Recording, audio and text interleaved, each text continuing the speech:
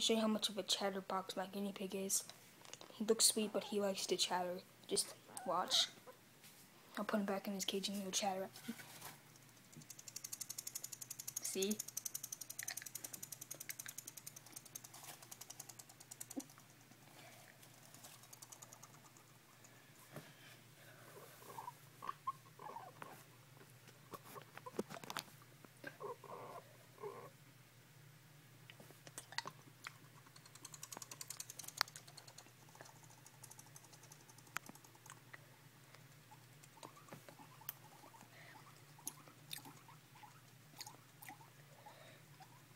He's still chattering.